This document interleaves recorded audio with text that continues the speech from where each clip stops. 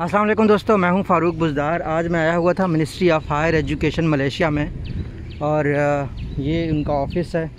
मुझे एक काम के लिए कहा गया है कि मैं दो बजे तक इंतज़ार करूँ। कुछ दोस्तों की डिग्रीज़ पीएचडी की, काफ़ी सारे पाकिस्तानी दोस्त जो पाकिस्तान चले गए थे, उन्होंने की थी उनको, उनकी मैंने टेस्ट करनी थी। तो ये वो ऑफ़िस है। अगर आप मलेशिया में हैं, आपने यहाँ आना हुआ तो आप सर्च करेंगे ministry of higher education Malaysia main entrance तो आप इस जगह पे आके आएँगे और इसके अंदर एक काउंटर है। वो आपको नंबर देगी फिर आप बिल्कुल राइट साइड पे एक जगह है जहाँ से आप अपनी डिग्रीज़ या डॉक्यूमेंट्स जो आपने टेस्ट करवानी है वो उनको देंगे वो टेस्ट कर देंगे। सो ये एक बिल्डिंग है।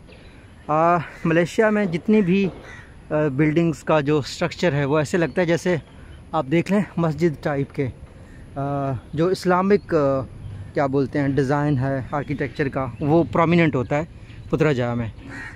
कोलालमपुर को मेनली लोग जानते हैं मलेशिया में, लेकिन मलेशिया का जो कैपिटल है, वो पुतराजाया है। ये एक सिटी है जिसको अभी रिसेंटली ख़ुद से बनाया गया है। इसमें बहुत ये एक प्लान सिटी है, बिल्कुल हमारे इस्लामाबाद की तरह।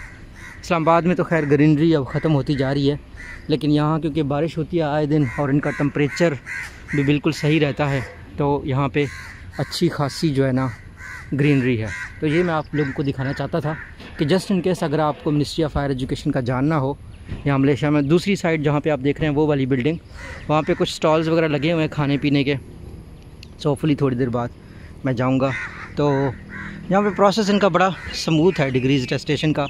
इतना ज़्यादा इशू नहीं होता। अगर आप इंडिया से हैं, अगर आप पाकिस्तान से हैं, अगर आप जानना चाह रहे हैं, अगर आप अंग्रेज़ी में देखना चाहें तो अंग्रेज़ी में भी मैं इसके लिए एक वीडियो रिकॉर्ड कर दूँगा।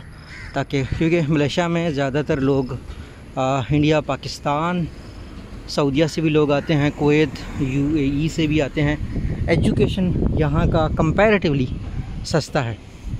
अच्छी खबर नहीं है उसकी वजह ये एक ये भी है कि उस्तादों को कम पैसे देते हैं ये। तो लेकिन बरल ये वो बिल्डिंग है मिनिस्ट्री ऑफ़ हायर एजुकेशन की। और बहुत यहाँ पे लोग फ्रेंडली हैं। अंदर की वीडियो हम नहीं बना सकते, क्योंकि ऑफिशियल जो है ना ऑफ़िस है और उनकी टू बी ऑनेस्ट मैंने किसी से पूछा भी नहीं है कि मैं वीडियो बनाऊँ या ना बनाऊँ, लेकिन वीडियो बनाने का कोई मकसद ही नहीं है कि जब एंटर होते ही आपको काउंटर नज़र आता है और उस काउंटर के बाद जो है ना आप को डिग्रीज टेस्ट अपना टेस्ट करवाने हैं। तो यही चीज़ है। यहाँ पे ज़्यादातर मलेशिया की जो गवर्नमेंट ऑफ़िस हैं, इनमें मुसलमान एम्प्लॉई होते हैं। So that's all at the end I will bring myself in the video just to make sure अभी सुबह सुबह है, तकरीबन नौ बजे हैं जब मैं ये वीडियो रिकॉर्ड कर रहा हूँ। चैनल पे अपलोड हो जाएगी।